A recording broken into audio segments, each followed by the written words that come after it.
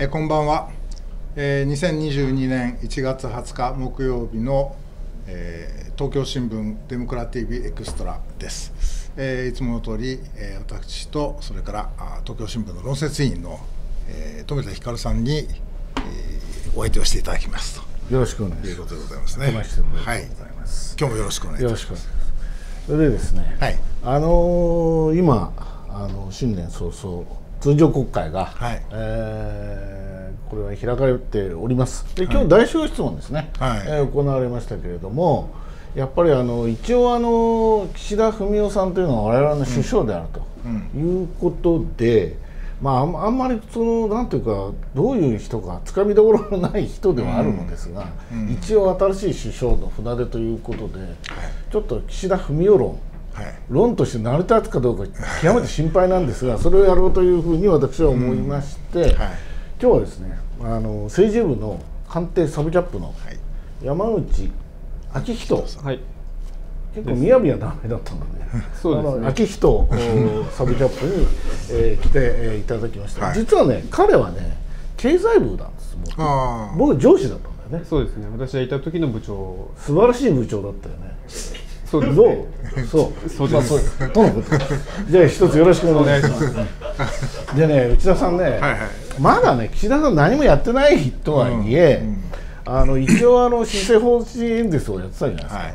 でまあこれ今日代表質問があっていろいろ答えて、まず岸田さんあの岸田さんが首相になる前はいろいろこう我々もここでいろいろああだのこうだの言いますけどだけれどもなってからの感想はまずどんな感じですか？あの野党がやりにくいだろうなっていう感じで、あの見えてますね。あやりにくい。でやっぱりね。ええ。あの代表質問でもそうですけれどもそのいろいろ要求する項目に対して基本的には全部ゼロ回答なんですけど、あのさらっとゼロ回答をするので、あのどうでしょう？視聴者の皆さんから見たらゼロ回答してない、まあ、ちゃんと応答してるじゃないかっていうふうに受け取られる可能性もあるようなそんな菅さんと比べてもね。うん、極めてソフトで、ただ、す中身はそんなにソフトでもないような気がしますけどね。うん。なんかあの代表質問の時の表情とかも私ちょっとテレビで見てたんですけど、はいはい。なんか、えー、と野党のね、まあ、まあ自民党の人も含めて与野党のこう質問者の方を見てねうん、こううなずいたりうん、こうちゃんと聞聞く姿勢を、あの見せてなんとなくこう誠実そうな印象があるんですけれども、山口記者ねこの岸田さんまず船出はどういう評価してますか？あのまず一番最初船出というと総裁選だと思うんですけど、うんうんうんうん。総裁選が9月の30日でしたっけ？ありましてね。でそれが終わった後に自民党本部の中であの自民党総裁のによる記者会見というのを行うんですね。うん。それは官邸のグリップじゃなくて自民党がグリップするので、うん。あのまあ、あらかじめ質問取りみたいなこともしなければ、うん。もう自由にあの司会者があの挙手した人を幹事社の後に当てていくとうんうん。いうところであの今まで安倍政権菅政権だと、まあ、東京新聞で手を挙げてもあ 当たらない指名されないということだったんですけど、もう定番でしたね。定番で。全く。誰のせいとは言わないけれども当たらなかね、まあ多分思想的なものとか、あのまあいろんなことは特特段の思想はないんだけど。思想はないんですけど、まあ論調っていうんですね、思想というか論調が合わないということで、まああんまり好かれてなかったということで当たらなかったと。で私が当時い今官邸なんですけど当時自民党担当で総裁選終わった後の記者会見に出ましたと。うん、で当然あのどこにどんな記者が座ってるかっていうのはあちら側は把握していると、うん。把握して座席表みたいなものを作って、うん。司会者に紙入れをしますと。で司会者はあの国会議員がやってるんですけどで幹事社質問が終わった後に当然私当ててもらいたいので手を挙げましたと。普通は今までだったら当たらなかったと、うん、あの座席が分かっていて東京新聞の山口がここに座ってるっていうのは分かってるので、で私は当たりましたと。でおそらくですけど岸田さんはもう誰に当ててもいいと。でどんな質問が来てもいいというスタンスだったんじゃないかなというふうに思います、でまあ、当然厳しい質問をしますとで質問も通告してないので紙を読むこともできない、うん。中で彼は彼なりの言葉であの喋る。であの喋る時は私の方私の目を見てきちっと喋ってたので、まあ、そこら辺は今までの政権とは違うなという印象は持っています。なるほど、なんかやけに好印象はとりあえず抱いてるっていうまあか、当ててもらえ今までがひどすぎたってことかなそれは。まあうそういうことだと思う、うんなるほどね。あの普通の状態に少しは戻ったのかなというふうには思います。しかしね内田さんねあの彼って質問されるじゃない？でその後あの菅さんの場合はこう、まあ、ほとんどなんかメモを読むか、うん。ほとんど間違えるのを恐れるのかなんかもうほとんどあ日本語になってない時が多かったのね。それから安倍さんの場合は突然興奮したりして、ん予算委員会であの総理だのやじ飛ばしたりっていうなんかあのもうほとんどものすごいわけわかんない状態だったけれども、あの岸田さんって質問された後もう何にでもし何でも知ってるかのごとく「はい」んってすぐ答えるんですよ。しかしそれをずーっと聞いてると全く内容がない印象があるんだけどそこら辺はどうですか、あの私も全く同意見です。ああなるほど。まあ、ある程度答弁をいろんなことに対して用意をしておいて、うん。でこういう質問が来たらこういうふうに答えようっていうふうに用意はできてると思うんですけどあのそその答弁がおそらくあんまり中身がなくて、あの一生懸命丁寧に喋られてはいるんですけど聞いた後にで結局何だったっけっていうことであんまりその伝わってこない感じはあります。要するに記者としてはメモを掘り起こしてもちょっと記事にしにくいってこそうです。とあなるほど。要するに見出しが取りにくいとか。そう。うん。うん、先ほどね内田さんが野党は攻めにくいだろうなっていう話はあったんだけれども、それもそこら辺が影響してるのかな。あのまず安倍さん菅さんと違って姿勢が極めてあの腰が低くて丁寧で謙虚であるということで、まあ、挑発しても乗ってこない、なので、まあ、野党としては相当やりづらいと思います。ああやりづらい、なるほど。要するに失言もないし思ったほどもこう思なんというかこうこう信念があってあの要するに対決姿勢を絶対見せないと。見せないですね。僕ね施政方針演説のこうなんていうかあれ予定稿みたいのあれなんていうのかな、こうあるじゃないですか。40ページぐらいのやつ、はい。あれこう見てて途中でこうびっくりしたのが要するにこうまあいろいろ正しい意見をね、うん。自分と違う意見でも正しいこう提言を受ければ私は躊躇なくうん。変えますって書いてある。躊躇なく変える、うん。つまり人の言うことをきちんと自分の意見と違ってもそれで納得すれば躊躇なく変えますと、うん。これはなかなかあの珍しい総理大臣だなというふうに思いましたね。コロナ対策でもまあ実際そういうこともありましたよね、うん。まあそれがいいかどうかはちょっと別としても、うん。だからまあかなり自信持って自分がこうしたいということはあのまあやらせるということなんでしょうけども、うん。ただ少し長いスパンで見るとその、まあ、新しい資本主義だとか、あるいはその格差の是正とか、えー分配だとかっていうことをあの少なくとも自民党の総裁選の時にはおっしゃってたのが、うん。えーきれいさっぱりなくなってしまう、まあ、新しい資本主義は言ってますけれども、うん。あの金融金融譲渡課税はまずきれいさっぱりなくなりましたよね。あれほどはっきり言ってたのに、うん。それから民主主義の危機とか言ってませんでした？あ言ってます。はあれなんかあれも危機じゃなくなったんですかね？急に、まあ突突如として。そこはトーンは弱まりつつその部分は残ってます。ね。ああやや残ってる。やや残ってます。いやいや残ってる。なるほど、うん。だからいやそのつまり躊躇なく変えるっていう時のその変える方向っていうのは、まあ、例えば財界から文句が出ればそっち側に変えるとかね、そう。いうことも含めての話なので必ずしもいいとは限らない。必ずしもなるほど、ん。でそれ今ちょっと話出たんですけども一応私経済記者だったんではい。新しい資本主義って何ですか？うん。いやまあここれは本当に大変だよね。でも山口さんももともとね経済部のでいらっしゃった。政治も経済も分かるっていうのが彼の売りですから新しい資本主義とは何ですか？これはちょっと笑ってしまいましズバッたけど、うん。と答えてほしい。そうそう笑っこれ誰に聞いても分からない。あの多分岸田さん自身もよく分かってないんだと思います。ご自身が？ご自身が。あの全然やっぱり新しくないんですよね。あの基本的にアベノミクスを継承してるだけで、でじゃあなんでアベノミクス継承しますって言わなかったかというと、まあ、そういうと国民の受けが悪いと、いうことなのでちょっとネーミングを変えただけで、でもうそれに尽きると思います。だから私説明できません。本人が分かってないえそれで終わり？いやあの要するに司法つまりまず僕がすごく引っ張られたのは、新しいってことなんだね。新しいっていうのはつまり今までになかった。日本の政府がね戦後一回してやったこともないものなんだろうと。それからもう一つその言葉の後に資本主義なんですよ、うん。新しい政あの例えば経済政策とか、うん、あのではないんですよ。すね。うん、つまり新しい資本主義っていうことはねもう私が最初に聞いた時はまさにアダム・スミスからね ケインズ。いわゆる現代貨幣理論というか財政均衡論を否定するような斬新なものがあるのではないかと。あの MMT みたいなやつですか？僕はね MMT を想起したんですつまりもうもう永遠のばらまきをやってもこの国は大丈夫なんだまで言うそこを理論武装したまであるなと。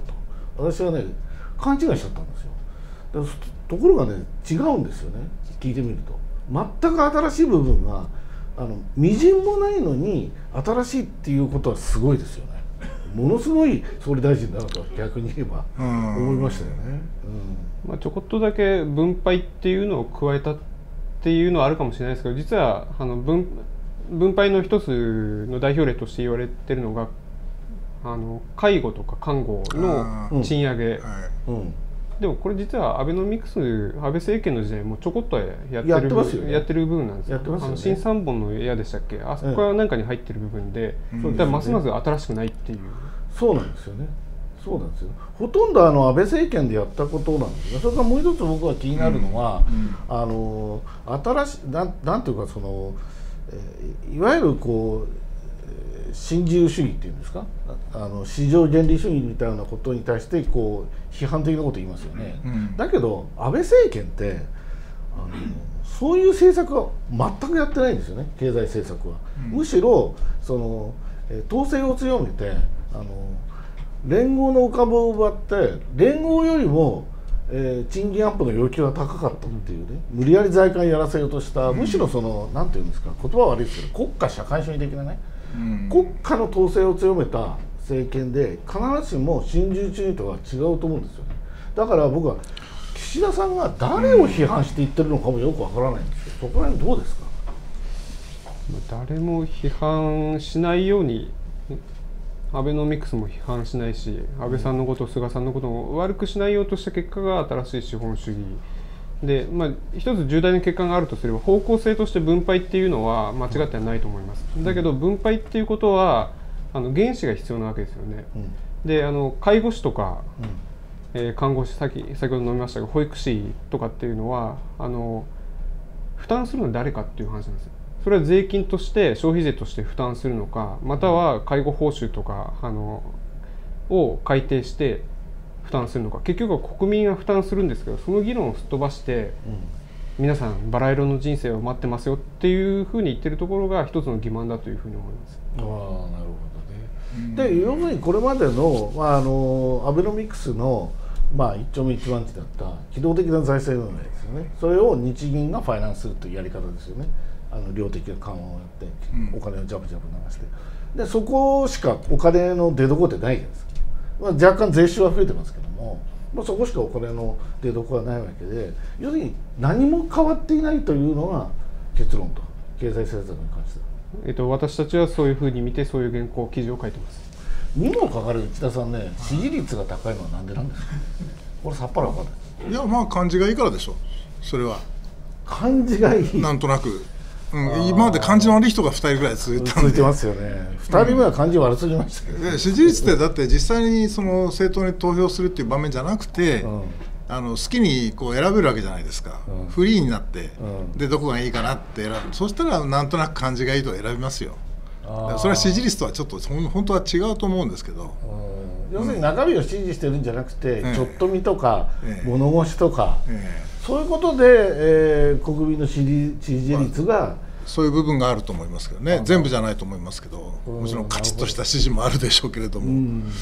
でね、あの今国会のすごいなんか私もあの政治家のど素人なんでこんなこと言うの恥ずかしいんですけど一応今国会の最大の特徴ってすぐ後に参議院選挙あるじゃないですか。でよく言われてるのが今度の参議院選挙でめちゃくちゃ負けちゃって、うん、で昔のあの第一安倍政権みたいにねじれつまり衆議院と参議院が逆転するでそうなるともう政権運営ができなくなるけれどもそれさえ避ければ、うん、その後3年ぐらいあれですか選挙はないわけですよね。2025年。統一地方選が1年ちょっと後にありますかね。あなるほど、うん、ただ国政レベルでないんですよね、そうですね。衆院も解散しなければないですし、ね、そうすると黄金の3年間が過ごせるということですかそうですね。やりたい本当にやりたいことがあるとすればそれを進められる、うん、あの、えーと、アベノミクスの話なんですけど日銀って今実はもう ETF 買ってないんでしょ？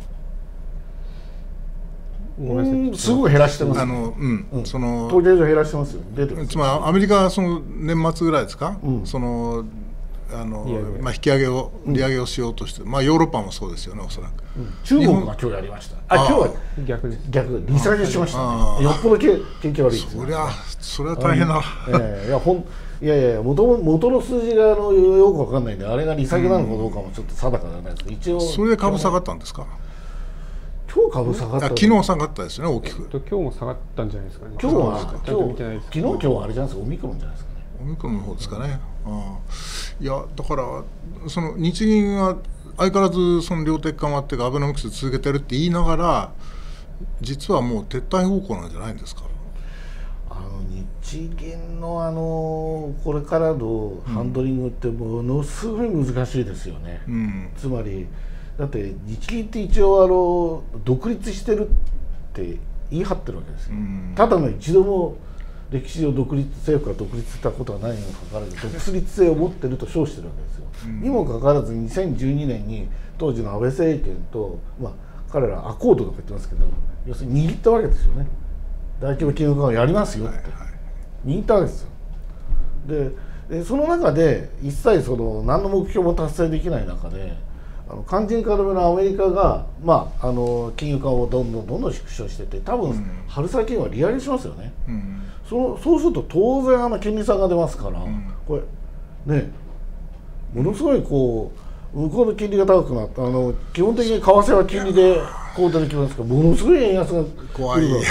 すごいことになりかねないんだけれども、ね、じゃあ日本で金利上げられますかって思うんですよ。うん。うん、まあだからあのアベノミクスが続いてるというふうに言ってるんでしょうね。少なくとも表面的には、うん、そう。だから僕はね、うん、これからあの日本日本ってものすごいそのなんていうか景気という意味ではねおそらくあのあの3本の矢のもう一番その使い勝手が良かった金融政策っていうのをおそらく使えなくなってるんじゃないかと、うん、もはや。うん、ああいうような気がしてならないですけど、ね、怖い話になるうんそもはや。でそのその時に私ね岸田さんってすごく思うんですけどやっぱりみこしすごく操作官僚にとって操作性のいいみこしですよね軽いですね。あの軽い。まあ考え方いろいろありますけどこれまでの安倍さんと菅さんを見ると、官邸主導だったのが言い方よくすれば岸田さんっていうのはあのボトムアップっていうんですけ？もう下からというのでなのでそれはみこし軽くないとそれはできないので,、あなるほど。で今のところそうなってると。要するにみこしの性能としては非常に操作性が良くて。そうです。なるほど。周りがこっち行こうあっち行こうっていうのを決められると。だったら官僚はウハウハですよね。今までこうあの内閣人事局であの違う官庁出身の補佐官たちにいじめられまくってたのがそれは全部その首切が外れたわけですからやっぱり官僚たちの顔色いいですかやっぱり。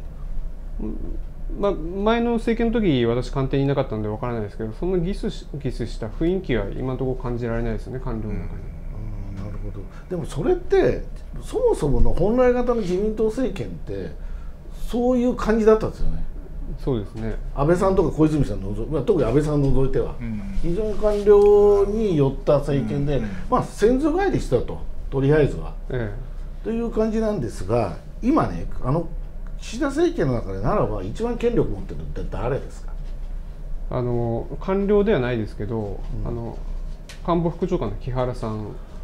あのき同じ宏池会あの派閥のメンバーです。あキャラってどんな人なんですか？あのどんなキャリアの人で、東大大蔵省大蔵省で、でそこから選挙に出た人で木原さんのお兄さんが今度みずほ銀行のそうなんです。ああ木原さんね。はい。これは僕はすごく、超面白い。ねもうもうみずほ銀行って、あのみずほ銀行の預金者には申し訳ないんですけども、あの国営風になってきましたよね。もうあれだけ不祥事を繰り返してたわけですよね。つまり官邸で最も権力を握っている人間の実のあ実のお兄さんですよね。もちろんもちろん。実のお兄さんが頭取にとあのあの人候補ですらなかったわけで結構若い若ちょっと抜擢系ですよね。なんか次の次の次ではないかとかっていうふうに言われてた言われてたまあ抜擢ですよね。抜擢ですよね。3人抜きか4人抜きか知らないですおーじゃあもう水は事実上国営と言ってもいい。じゃああれですかはい。ざ財源足りなくなったら水穂からうだから出してもらう水穂から次は持ってくればいいんじゃないかって話そんなことできる。そういうあれですかね。うんどうなんですかね。うんもう驚きました僕水穂銀行まあそういうややんごとなきお家柄お家柄でもう代々銀行お父さん、えーおじいさんもそうですかね。勤めてるようななるほど。つまり岸田政権がなんか岸田さんが大船乗ったつもりで言うのはあ新しい財源ができたっていうようなイメージなんですかね。つまりなんか新しいいまあ日銀とまでは言わないけどせなんか第二の政策投資銀行かつてみずみずほみたいなイメージなんですかね。おいちょっと頼むよみたいな話でそんな。まあそここはれ法律上どういうふうに整理整理整理するかよくわかりませんけども。あなるほど。その木原さんが今仕切ってるそうですね。あなるほど。なんかなんかつい最近変な発言しませんでした？なんかオミクロン株の、えー中等重症化率は5%とか言っちゃってそんなことがあったら大変なんで0.5なんですけど。であ5って結構なもん5は大変大変です5よ。ですよね何万人もね感染してる。なるほどあんまり良い周到な人ではないんじゃないかなっていう気がしてたんですけど。私逆だと思います。まあそれ多分読み間違いペーパーの読み間違いはあると思いますけど。どんな感じですか？接してると。あのると。非常に堂々としていてただなぜ堂々とできるかっていうと、用意周到なんですよ。あの基本的にあの官邸って官房長官会見っていうのが、うん。いあの原則1日2回あります。すね。11時と16時はい。めどで始まるんですけど例えば今松野官房長官が国会日程とか他の、えー政務公務で出られない場合は、副長官が代わりに会見を行う。あやるあります、うん。今日もまさにそうだったんですけど。原さんになるんだ。で木原さんだったりあの参院の副長官の磯崎義彦さんだったりするんですけどまあ、どちらかが代わりに出てくると、で松野さんの場合は基本的に11時って言ったら11時頃ちゃんと始まるんですけど、木原さんとあの磯崎さんの場合すごい開始が遅れるんですよ。11時半になったり。えなぜ？おそらくですけど綿密に答弁をうん。準備してる。組み合わせてるあーなるほど。こういうふうに聞かれたらこういうふうに返すけどどうなんだっていうのを秘書官と、まあ、秘書官は自分の省庁なりあの関連省庁に。財務官僚らしい人だね。そうです。本当そう感じます。なので基本的に答弁で堂々としてミスをすることは少ない。あしくじることはない。ないと思います。ただ読み間違いというのは当然あの木原さんに限らずあるので、うん。まあこれをそれはそうですよ。もしかしたら0.5%だったのを5%って言い間違えちゃったのかもしれないです、なるほど。じゃあ仮に東京新聞がついに望月遺族を差し向けたとしても特に問題はないとと思います。問題乗り切るだろうと。あなるほど。どんな存在なんですか？いやいやいやいやいや。それは我々のこの看板である。あの新聞記者におけるアイドルという初のこう斬新なこう存在アイデアでこう言ってる。なるほど。望月そこでさえもむしろやり込められるまあ、仲良くなっちゃうかもしれないぐらい、まあ、堂々とあなるほど。分かんないことは分かんないから後で関係省庁にお尋ねくださいとか、うん。後であの改めて調べてお答えしますとかっていうふうに無難にあのこなす人なのでああなるほどこんなところであの、ね、記者会見のやり取りでカーッとなってつまずくようなタイプには見えないです。なるほどね。あの前あのあの安倍政権とかあの菅政権の時はなんかこう補佐官っていうの内閣補佐官みたいな。首相補佐官首相補佐官、はい。はいあの杉田さんとかね、はい。あの警察官僚の杉田官房副長官。そうです。あ官房副長官、はい。ああのそうです。和泉さんってさはいはい。あのホテルの変な部屋に泊まった方ね。あー。の隣のあの女性の部屋にあのコネクティングルーム、コネクティングルーム。ね、い。やもうそのあのドアを使いませんでした。懐かしい。けどそうですね。コネクティングおじさん。ああいうような変な人はいないんですか？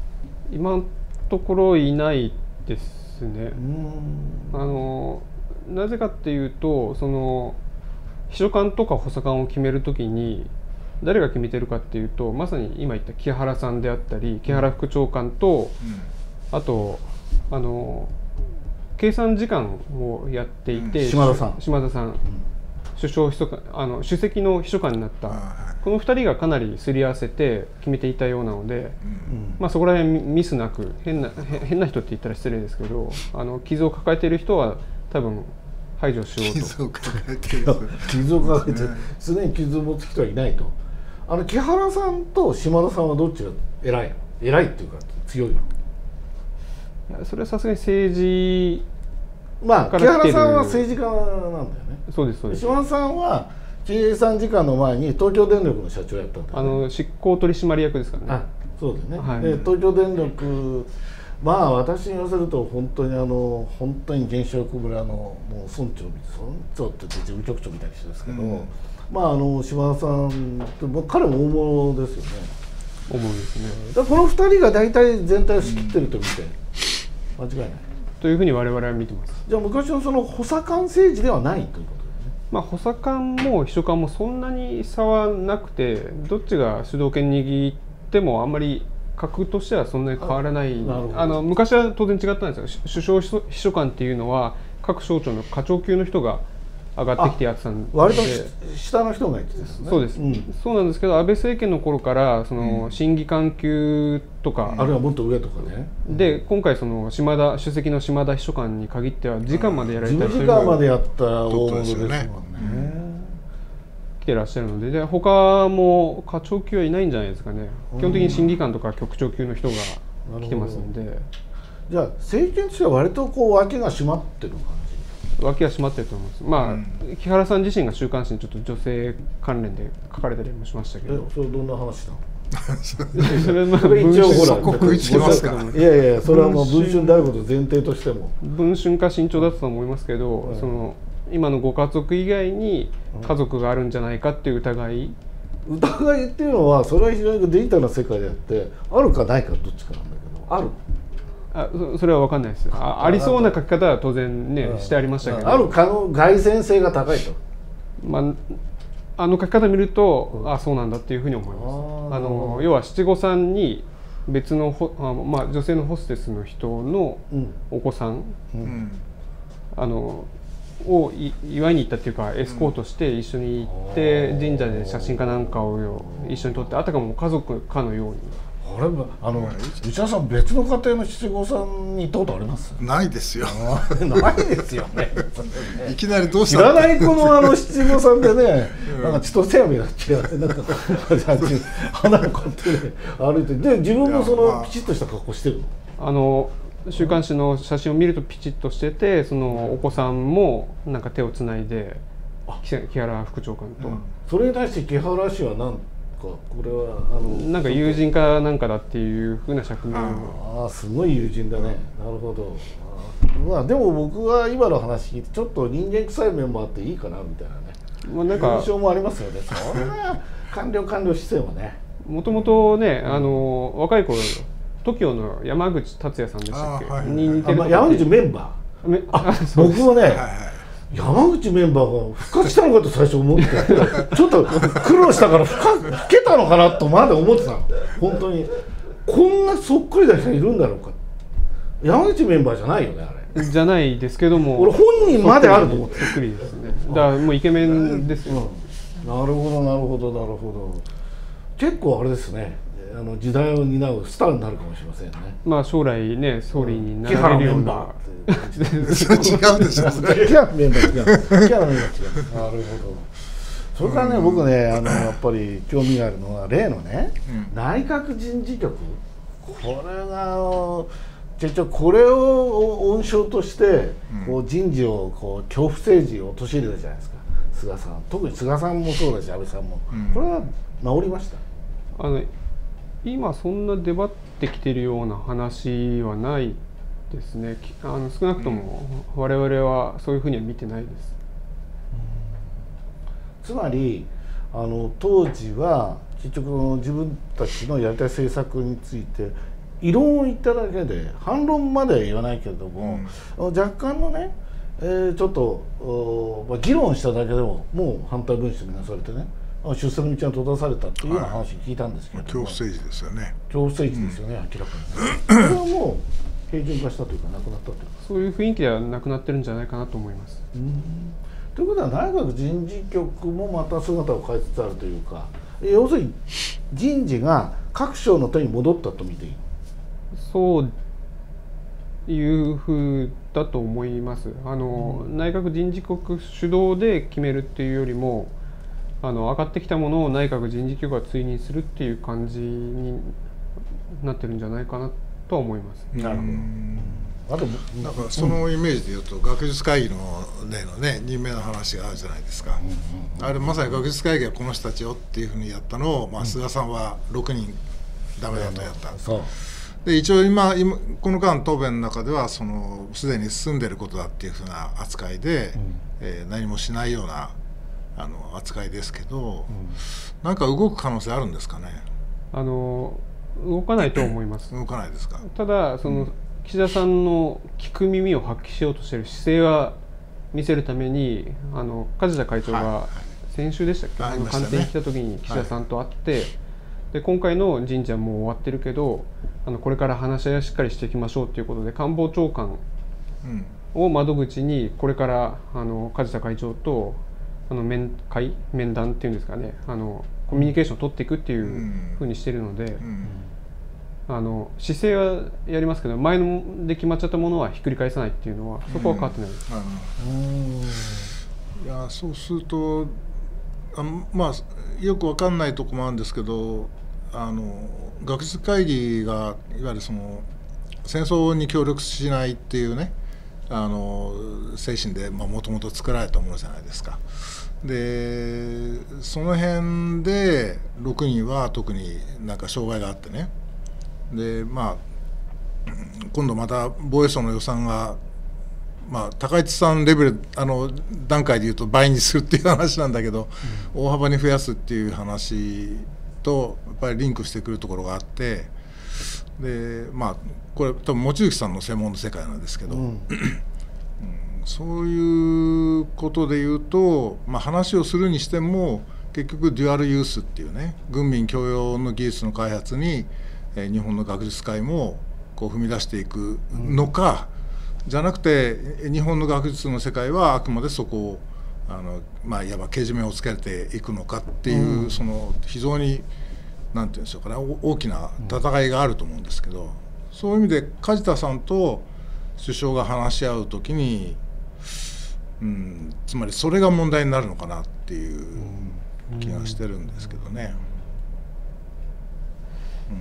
どこまで首相が、うん。あの岸田さんが踏み込むのかっていうのは 私は正直わからないです。あんまりそのさっき言いましたけどみこしが軽いっていう意味で言えばあんまりネタ子を起こしたくないというか、あはいはい。なるほどね。まあ政治家としては当然やり過ねごすえうん。まあちょっとねこういった別に私の梶田さんに何の恨みもないんだけどなんとなくこう梶田さん自体はノーベル賞は取られたけどちょっとややあの貫禄不足っていうかあの本庄先生の方が良かったかなみたいなね。本庄先生にも怒られたらもうずもう言うこと聞かざるを得ないっていう気あるじゃないですか。山中先生でさ本庄先生は怖いと。うん、で本庄先生あたりがバン、まあ、あの増川先生がね亡くなられちゃったんで、うん。亡くなりましたね、いそうですね。あの残念だったんだけど、うん。あそこら辺ちょっとねさらにちょっと、まあ、別にあの方今の会長に何も別に恨恨みもないんだけどちょっと本庄先生あたりねぶつけてねビシッとやってもらいたいですよね。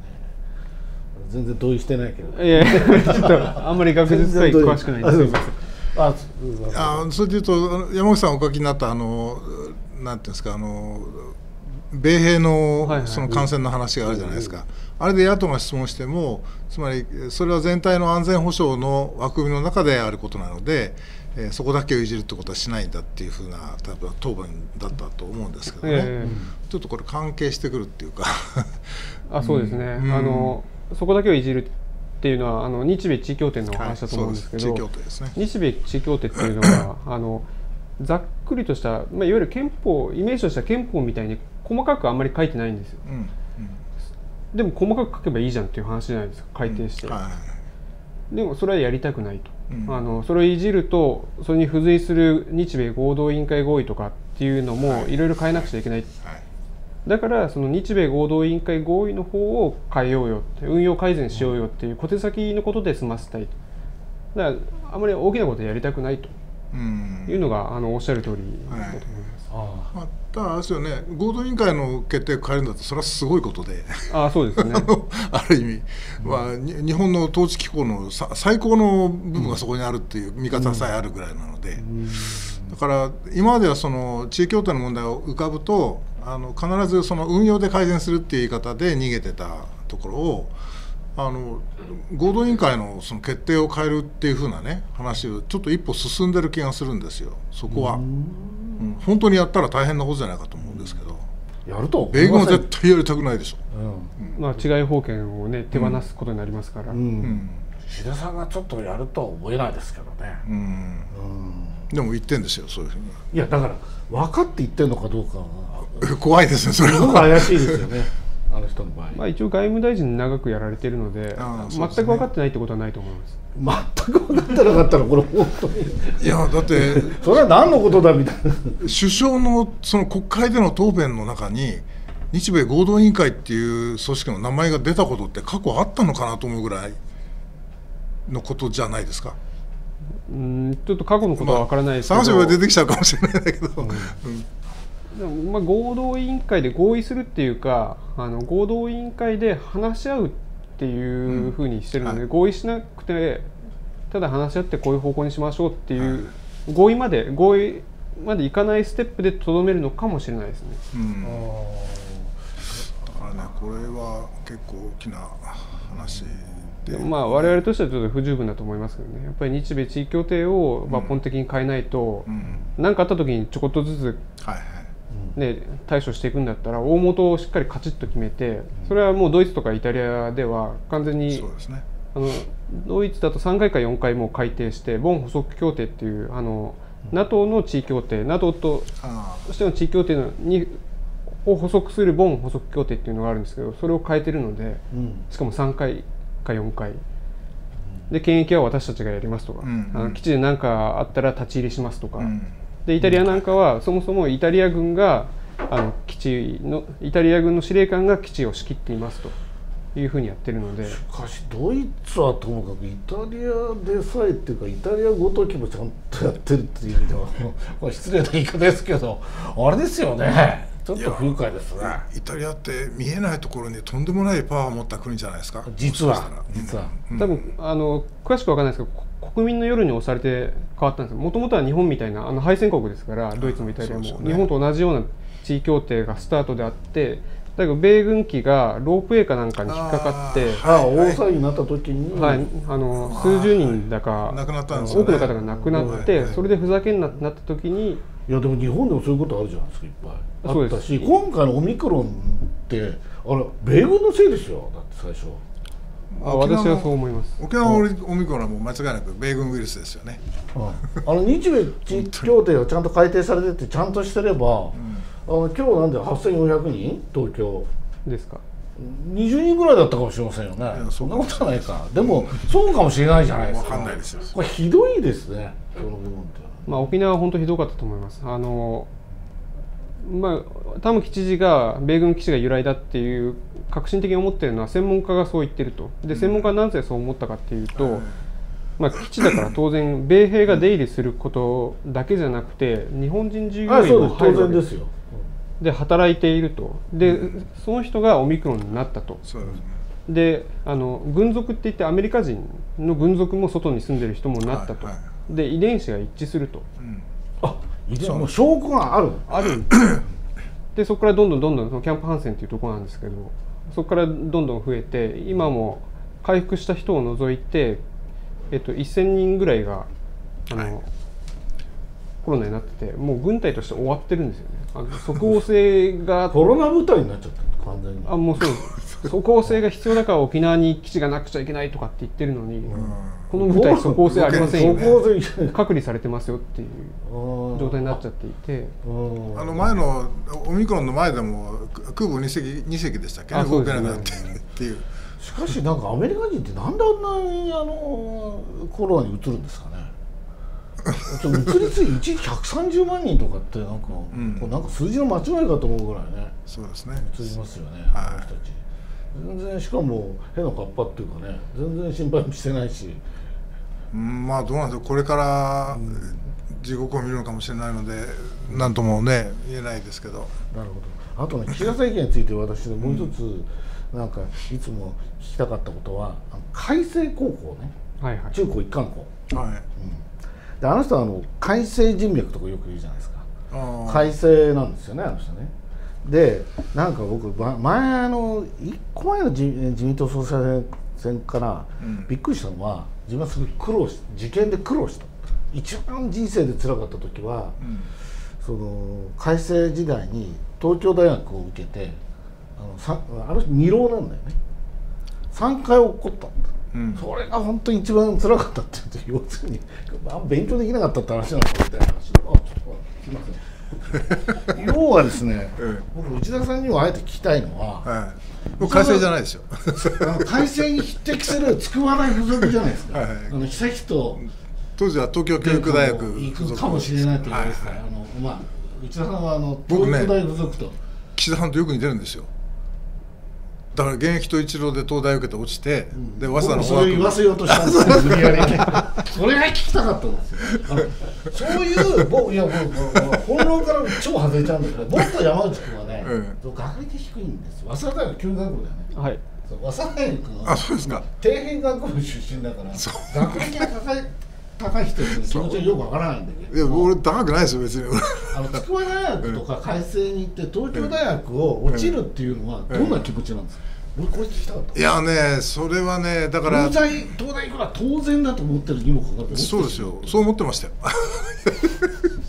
もうないよね東大受けた？受けてないです。ないよね。早稲田の法学の学部が第一号だよね僕ですか、僕はまあ上智大学に行きたかったんですけどあぽいじゃないですか。なんでそんな人間の大学に来たの？上智？いや俺まあ上智僕落ちましたけどね。あ落ちたよ。落ちたけど、うん。まあいいやまあいいですよ。あの底辺のことはどうでもいいんですよ。そのいや僕偏差値の高い世界の話を聞きあはい。たいんですよ、現役の時は東大しか受けませんでしたから。東大のみ？のみ何学部を受けた？んですかあ僕あ分散を受けてもう悲しい思い出ばっかりでもう山のように出てきますよそれその辺分散って何？文学部？あまあそうですね。文化三類。いこれなんで落ちたんですか？やそれは点が足りなかったからですよ。で何回も落ちる落ちたじゃないですか。二度で落ちた。二度落ちた。はい。どんな感じなんですか、いやだから二浪しようかなとも思ったんですけど、はだけどうんそれはつまんないなとなまるあでまあさすがに一浪の時は他も受けてましたのでうん。で早稲田の法学部にあ行ったっていうそういう感じですね。なるほど。だから岸田さんの何年か先輩に当たるんですよ私。数年。早稲田大学の、はい。どっかですれ違ったかもしれない。でもあの人すれ違っても絶対記憶に残んないよねまあ。僕もかあの大手町の取材長いんだけどあの企業の企業の部長さんとかでああいう感じの人いっぱいいるんだよね。なんとなくああいう人多くない？なんかまあそんなに偉くないんだけど、まあそこそこぐらいの人でああいう感じの人ってすごく多いんだよね、岸田さんみたいな人、うんなんかこういやまあそれはともかくあなるほど。じゃあ岸田さんは東京大学落ちたことを傷ついてる可能性はあると。それはあるんじゃないですか、うん、あると思います。あの東大一家なので。東大一家って何？お父さんも？お父さんもそうじゃなかったですけど、あとご親戚のあの今参院議員の宮沢洋一さんあの税調会長。ああの宮沢家の方ね。はい。もうあの東大大蔵省なので。ああまあそうですよね。でだから親戚とかの集まりだと岸田さんとか宮沢洋一さんとか集まるんですけど、はあまあ、肩身狭いっていうような話は聞きますよね、うん。肩身が狭い。あの岸田さんがその東大じゃないからっていうので。そうですよね。よくぐれなかったですよね。ああまあね、まあ、グレようもないんだろうけれども。えいやどそういうプレッシャーっていうのはね。あのうん。だけども大逆転で総理大臣になった割にはあんまり肩に力入ってないよね。でそこが逆にいいんじゃないかな性格の良と思います。さが出てるのかな、うえ。ん。え育ちの良さというかだなんかやっぱりその安倍政権菅政権がこうガチガチに固めたそのなんて言うんでしょう独裁国家のイメージから少しあのみんなで話し合ってやりましょうっていうイメージにこう変わってきてはいると思うんですけど、うん。一つ一つのところであのちゃんと変わるかどうかは全然こう未知数っていうか。なるほど、うん、だからそそういう気がしてそのうんまあく組合の話もねそのあまあまあ特にあの新しい資本主義はそうですよ。新しい資本主義であこれが新しい資本主義かなんていうのが出てくるはずがないんで、ああそうですよね、うん、もうそれはね結局あのしかもあれですよね。あの新しい資本主義なんたらかんたらのところではないですけどあの田園都市なんとかなんとかっていうところにあれ昔大平さん竹中平蔵さん入ってたりするでしょ。そうなんですよ。うんあれあの人ってあのい新自由主義のね、うん。旗振り役っていうかつまり岸田さんが言ってる新しい世界の一番の敵じゃない。なんであの人入ってるの？うーんそこはよくわかんないですね。ただそのデジタル昔は田園都市国家でしたっけ、はいなんかそれデジタル田園なんかもうよく覚えられない会議体をたくさん作るから、ん。ちゃんと覚えてないんですけどデジタルをくっつけて、うん。大平さんの政策をバージョンアップさせますというふうに言ってるん大ですけど。平さんの政策ってでもこれ404050年前のバージョンアップってことで。まあ、派閥の大先輩なのでそこに気使って、うん。だからデジタルっていう新しい部分っていうのでそのうん。新自由主義の竹中平蔵さんが入ってるのか、うん。ちょっとそこはよくわあのわからないです。僕はあの人がまた官邸にいる姿を見てもびっくりしちゃったね。またいるまだいるのかと思って。だから新自由主義の極致っていうのはあの別にあの組合にあのなんていうんですかその賃上げを要求するから新自由主義じゃないということじゃなくて、もっとあの基本的なことなんですよね。で例えばその新自由主義者とあのおぼしき労働経済学の人なんかが考えてることは何かって言ったら労働法はもういらないっていう世界ですよ。民法でいい。労働契約も全部あの対等の契約者としてやればいいんだっていうね。うん乱暴な議論そうですよ。だから戦後そのそれがそれがいかにひどいことになるかっていうのでこうずんどんどんね修正してきたものを全部取っ払ってやまあろうっていう考え方。でも連合のあの低たらくがいればねそういう議論が出てきてもね、何にも役に立ってないですもんね。連合って要するに正社員の組合のあまあ実はそうなんですよね。でしょ？ね。で正社員はこれからどんどん減りますよ、うん、でゼロになった時につまり、誰も守るもの、ん。バックボーンを持たない非正規の人がどんどん増えていくってことうん、ですよね、非正規って言わなくなるんですよだから。あそれが当たり前になっていく。正社員じゃない働き方をもしかしたらこれから正規の労働者というようになるかもしれませんよ。ああなるほど。それは本当に新しい資本主義かもしれない。新しい。仕事が恐ろしいけど。それか。うん、それ一斉にみんな収入が下がるんですよそれでなんか僕新しい新しいじゃなくて要するに僕らのの世代って給料上がまあこう言っちゃなんですけど我が社で最後って言うと失礼だけど 我が社でも給料上がったんですよ。結構。素晴らしい。給料って上がるもんだと思うんですよね。で最後の最後まで最後の最後っていうのは僕60超えちゃったからあ。まあ、今はとにかく論外だけれども結構最後まで上がってたの。で特に40代とかって結構上がってたのでもところが今若い人たち聞くとうん。上がってない、もう他の新聞社もメディアの方が同じ、うん。あ給料が上がらないって言うんだよね、あなたは何？どらいもらってんの？上がんないですし、まあ、年収2000万ぐらいですかね。2000万から上がらないですよね。それ障害賃金を俺聞いてんじゃないんだよ。障害賃金をさ。障害ねね年まあ2000まあまあまあ俺も今2300万なんだからさ。一回見てみたよねそういう給料。どんだけ入ってるの俺かそれぐらいもらったら俺使っちゃうよはっきり言って。もう毎月がボーナスですよ。だよね。そうなんだよね。俺も何にも女房に何にも言われすぎやいないよねそこまででも東京新聞が50何万部から500万部ぐらいになれば そんなそうなんです。買っていただきたいですよ。僕はいや給料の話になったからちょっと言っちゃいますけどね。僕はね産経新聞に2年いたんですよ。あで産経新聞の時に朝日のすごい親切してくれる先輩がね「給料安い安い」っつって「お前そんな本当にいくら見せてみろ」っつったら「結構もらってんじゃないか」って言ったらそれボーナスです。よ 言ったことがあって。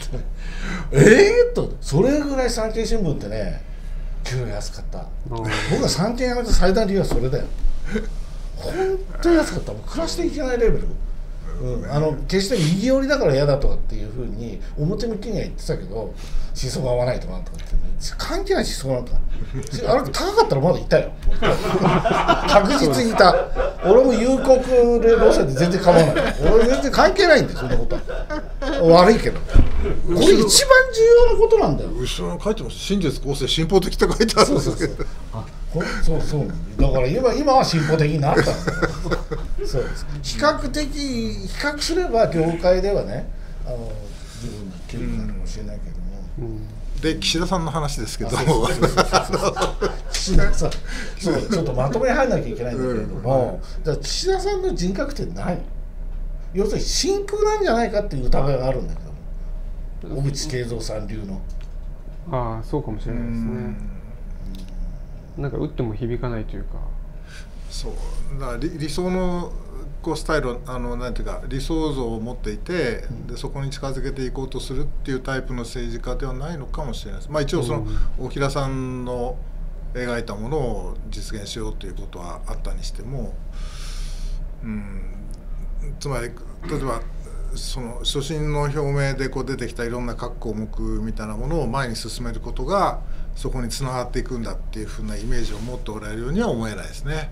うんなんかこうすごいこう官僚文学がまあそういうこう散りばめられていることをさあの施政方針演説なんかとか寸分たがわず正確に読むよね。うんそうですね。そこが僕すごいなと思って。ああの全然話盛らないし力も込めないし。またすごいなと、淡々としてますね。そうですね。うん、淡々としてますいわゆる帰国子女と言っていい部類なん英ですか？語話せるらしいよね聞いた？いや。そういう話は私は直接あんまり取材したことないあの安倍さんみいたいなインチキ留学じゃないよね。でなんか子供時代に結構長くアメリカにいますよね。ニューヨークかなんかにいたんでしたっけ、うん。なんかあのどっかアメリカの学校で人種差別されたとかなんとか言って辛い思い出だったとか言ってるあーそういうのもあったかも。ただ英語が分かんなかっただけじゃないかって言われていやその喋り方の中にこうちょっと変わったリズムがあるんですよ。ああそうですね。あ英語風なね、うん。で、あ帰国子女の人たちでと聞いた話し方ちょっと近いかなって。やっぱ韓国の言葉を覚えるとねそうなりますよ、僕もね都会から帰ってきた時ね一旦僕はドイツ語で考えてから日本語で喋ってた。そうだったんですそうそういう時あったでしょ。本当ですか？あーまあまあ。僕あの時に日本語忘れて本当往生したんだよね。ドイツ語考えちゃうんですよ。自然に。いやもう治りましたけどね。いや本当の話なんですよ。まあいいやすみません。目目合わせられなかった。あそうです。岸田さんどうですか？岸田さんで、このまんまいくと長期政権まあ参院選乗り切れば本当ありえますよね。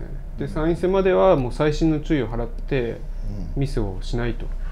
でコロナ対策であの菅さん安倍さんがあの支持率を下げてきたことを重々承知しているのでそれ先手先手と称称してうん。どんどん何かをやっていくと、いうことは続けるんじゃないかなと。あとちょっともう一つ聞きたいのは憲法。うん。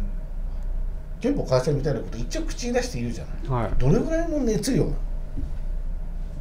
そこはちょっと測りかねるんですけど、もともとの派閥でいうとリベラルな派閥なのでそう高知会。高知会です。そうですよね。なんですけどやっぱりその安倍さんなりその党内の勢力にも気を配って威勢のいいことは言うようになりましたよね。だから本気とはちょっと本当にわからないですなんかそうですよね。党内のその強硬な人たちというか保守派に気遣ってるのかなって、まあ、あの戦車に乗ってみたいとかね、ええ。ああなるほど、まあ、あと防衛費に関する答弁はまあこれは本気なんだろうけど、うん。うん、安全保障関係ではなんかね安倍さんも喜びそうなことを言いますよね。そうですね、うん。敵基地攻撃能力とか。それそれ。どあそうそうそうそう。あれはちょっと言い過ぎでしたよね。ちょっと周りの人ちゃんとちょっといや言って。それもねさっきの話と同じで分かってないで言ってる恐れはあるよね。あの振り付け通りになってる可能性はありますよあね、うん。要するに自分で咀嚼しないでそのまま行っちゃったっていうかまあ咀嚼した上でかどうかわからないですけど、ん。周りの官僚がボトムアップですから。全てボトナムボトムアップなんだななるほどで上がってきたものをあじゃあそれでいこうと。なるほいやだけど敵基地攻撃能力なんたらかんたらっていうのは、まあ、自民党の中で妙に盛り上がってるんでしょうけど、まあ、ありえないでしょう。どああ絶対ない 今北朝鮮がボンボン撃ってるミサイル1個を取ってみたって、うん。あの到底ね迎撃できるようなもんじゃなさそうだし、そうですよね。うん。でもね僕はあの岸田さんが政権となって唯一良かったなって思うことも一つあって高市さんがなんとか彼に薄くなったじゃないそうですね。まあ一生懸命くせにええ存在感これはあの、まあ、茂木さんのおかげなのかもしれないけれどもあの人があの元気になった日にはもう本当に困るっていうかさ、うん。あのまあ、それは女性首相はいいよ。でもよりによってあの人ってわけにいかないじゃないですか。であの総裁選の時は妙に票を取ってねこれはまずいなと思ってて、えーうん。まあ党内の人気は一定程度ありますよね。うんでも今全然元気ないじゃん。